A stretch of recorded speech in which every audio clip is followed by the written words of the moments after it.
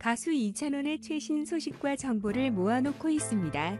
우리는 항상 최신 뉴스와 다양한 정보를 제공하기 위해 열심히 노력하고 있습니다. 오늘의 주요 뉴스입니다.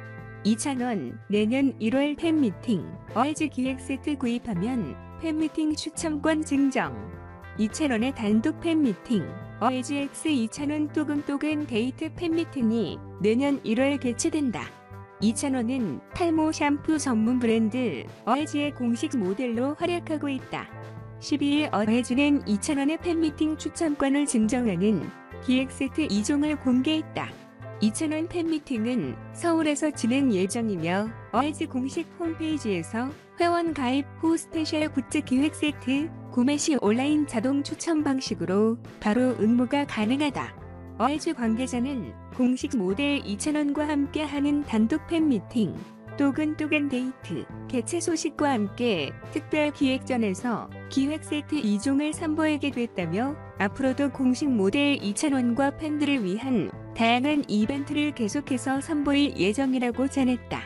어헤즈 X 이찬원 또근또근 데이트 팬미팅과 스페셜 굿즈 기획 세트에 대한 자세한 정보는 어헤즈 공식 홈페이지를 통해 확인할 수 있다. 이찬원은 TV조선 미스터 트롯에서 3위 미로 선정되어 트로트 대세의 주역으로 평가받고 있으며 최근 뽕숭아 학당, 미스터 트롯, 사랑니 콜센터, 뭉쳐야 산다, 전지적 청년 시점 등 다양한 TV 방송 프로그램에서 활약 중이다. 이찬원은 어렸을 때부터 트로트 신동으로 불릴 만큼 뛰어난 노래 실력, 남녀노소 누구나 좋아할 만한 귀여운 외모와 예의 바른 성격으로 다양한 팬층을 보유하고 있다. 이 뉴스레터는 끝입니다. 다음은 이찬원의 다음 소식입니다.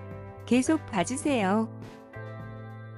사랑의 콜센터 임영웅 크러쉬 이찬원 옥진욱 환상 듀엣 사랑의 콜센터 TOP6 임영웅 영탁 이찬원 정동원 장민호 김희재와 비즈니스 친구 6 이수영 크러쉬 EXID 솔지 이예준 남승민 옥진욱이 서로의 대표곡을 바꿔 부르며 전율을 불러일으켰다.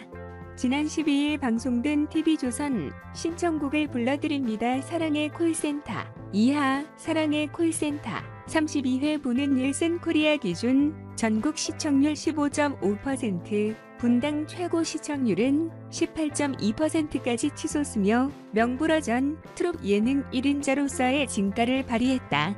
이날 방송에서는 TOP6가 자신의 비즈니스 친구를 소개하는 비친속 특집에 돌입, 각자 팀을 잃은 비즈니스 친구와 서로의 대표곡 부른 후 점수를 합산해 최종 우승을 가리는 대결을 펼치며 안방극장에 짜릿한 전율을 안겼다. 이날 방송에서는 김희재와 나이 14세 차이 친구 가수 이수영을 시작으로 장민호와 태어나서 딱 한 번 본 친구 EXID 솔지 이찬원과 안 본 지 네 달 된 친구 옥진욱 영탁과 대학원 동기 이혜준 정동원의 소속사 동료 남승민 임영웅과 단 한 번도 본 적 없는 친구 크러쉬가 등장해 시선을 강탈했다.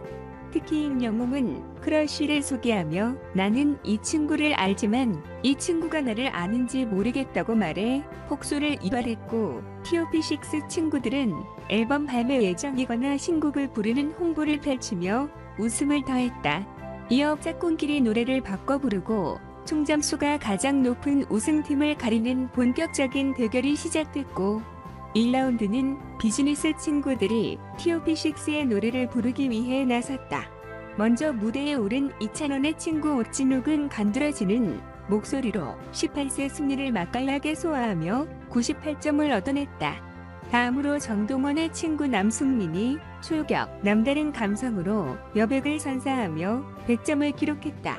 세 번째로 김희재의 친구 이수영이 무대에 올라 명품 음색의 발랄한 표정, 몸짓을 더한 19숭정을 선보여 98점을 받았고 네 번째로 무대에 오른 영탁 친구 이예준은 추억으로 가는 당신을 선곡 소울풀한 목소리로 기립 박수를 이끌어내며 98점을 획득했다.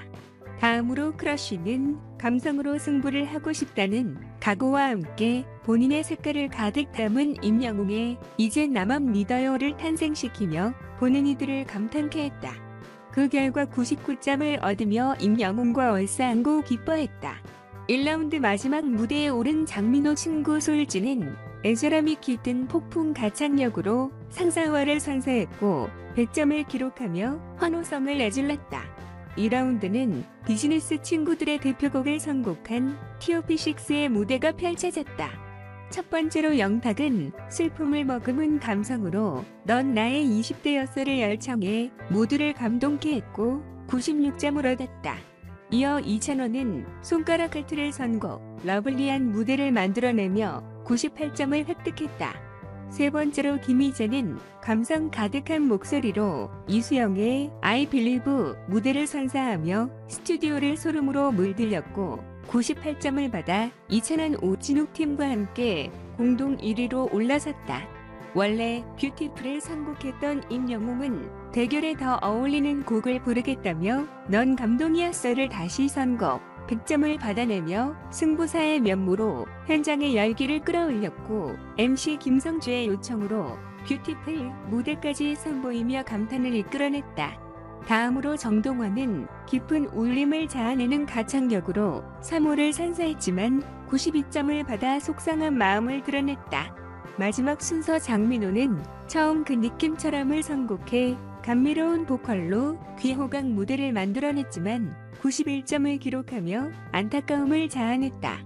TOP6와 비친 6의 듀엣을 선보이는 3라운드에서는 먼저 정동원 남승민 팀이 서정적인 감성으로 눈, 코, 입을 열창했지만 91점을 받아 아쉬움을 삼켰다. 두 번째로 장민호 솔지 팀은 밤이면 밤마다를 선곡해 역대급 흥을 폭발시키면서 96점을 받았고 영탁 이예준 팀은 탁월한 가창력과 눈길을 사로잡는 스텝으로 하늘에서 남자들이 비처럼 내려와를 열창해 95점 획득했다. 이어 김희재 이수영 팀은 절절한 목소리로 만들어낸 환상적인 하모니로 슬픈 사랑의 노래를 이찬원 옥진욱 팀은 구수한 가창력으로 남자라는 이유로를 열창하며 분위기를 북돋았다. 임영웅 크러쉬 팀은 고백을 선곡, 잠자고 있던 끼와 흥을 분출시키며 마지막 무대를 장식했다. 특히 임영웅은 수준급 랩 실력을 자랑하며 MC 영웅으로 완벽 변신, 모두를 깜짝 놀라게 했다. 그 결과 김희재 이수영 팀이 98점, 이찬원 옥진욱 팀이 94점, 임영웅 크러쉬 팀이 100점을 기록하며 총점이 가장 높은 임영웅 크러쉬 팀이 우승을 차지했다.